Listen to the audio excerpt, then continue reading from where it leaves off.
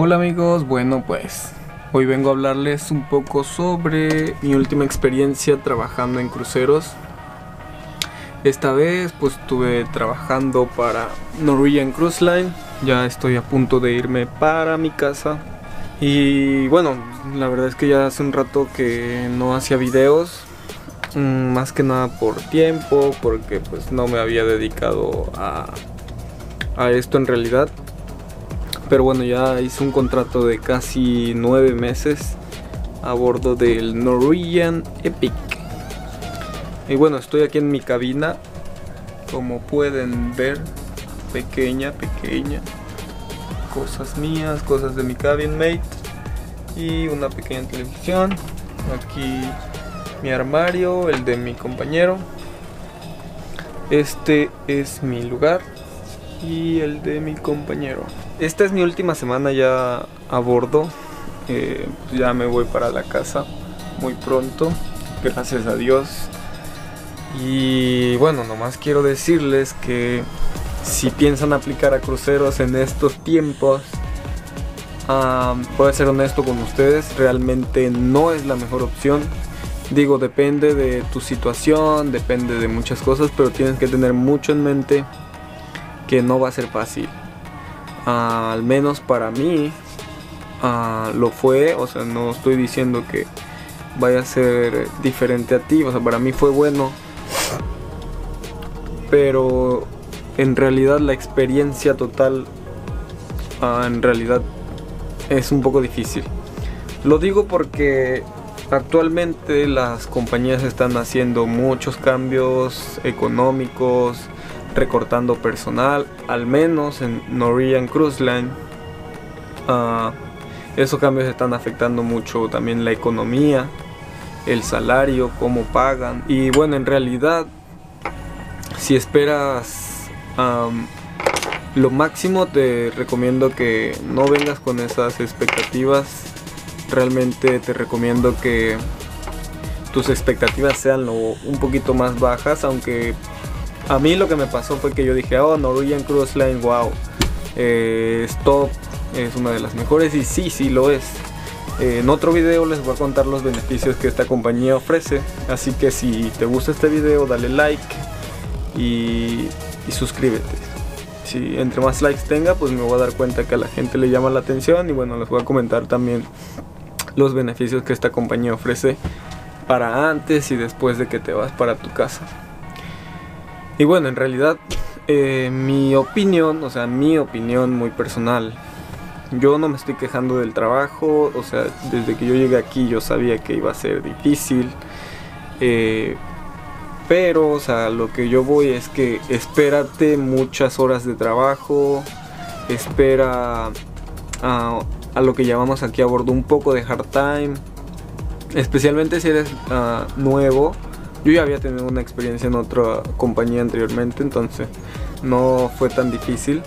Lo que está pasando es que hay demasiada rotación a lo que llaman que mucha gente no regresa, se van a otras compañías porque pues no les gusta aquí o muchos pues prefieren quedarse en casa por diferentes situaciones. Después de la pandemia, eso ha afectado demasiado al, al o al personal que se contrata a bordo. Como les repito, esperen mucho trabajo, esperen muchas horas de trabajo. Al menos yo, yo trabajo en un restaurante de especialidades. Y bueno, en ese restaurante yo diariamente trabajo 12, 13 horas diarias. Y lo malo, o sea, lo malo no es eso, lo malo lo que más me ha afectado a mí personalmente es que el horario se divide en, varias...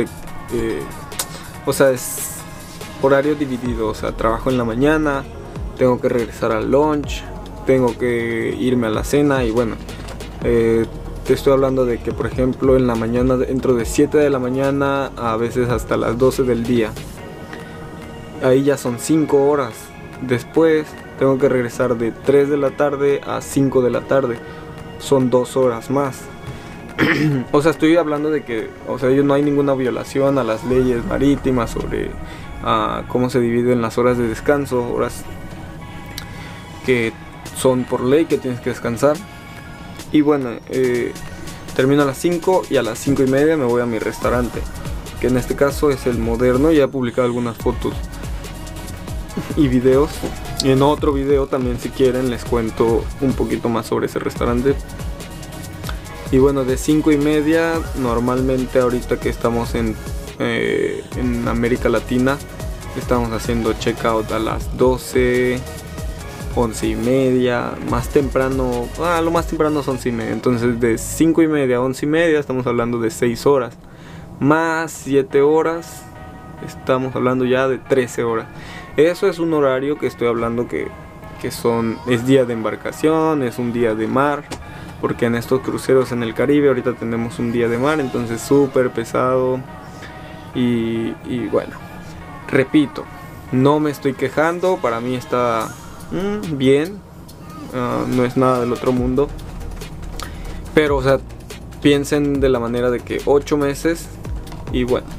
Esto se los digo porque muchas personas suben al barco pensando que vienen de vacaciones, que esto es súper fácil, ah, no, que aquí, que allá. Pero no, o sea, desde ya yo les estoy diciendo lo que van a vivir, lo que van a sufrir aquí, porque no es fácil. O sea, cada quien tiene su suerte, cada quien, cada experiencia es diferente, pero en general lo que yo he visto, como yo mismo me siento, es eso esperen mucho trabajo, al menos 12 horas diarias, y eso estoy hablando de mi barco. Ah, puede que en otros barcos sea mejor vida, pero pues al menos aquí, por mientras que estamos en Caribe, eh, son los horarios que se manejan. También quiero decirles que cuando se está en Europa es un poquito más relajado. Ah, son diferentes personas también las que suben, entonces se siente mucho la diferencia. Y bueno, en general este video lo, hago para de introducción, pues porque pues se vienen más videos, probablemente regrese por otro contrato. Y si quieren saber un poco más sobre la vida a bordo, síganme en Facebook, me encuentran como Trabajos en Cruceros. Ahí les dejo el link aquí en la descripción. Y bueno, también síganme en Instagram, tengo mi Instagram de Trabajos en Cruceros, y mi Instagram personal, que también se los dejo en la descripción. Eh, sin más, bueno, yo me despido, les dejo este video, si les gusta denle like, si no les gusta denle dislike y nos vemos en un próximo video. Hasta la próxima. Qué final más épico. Saludos.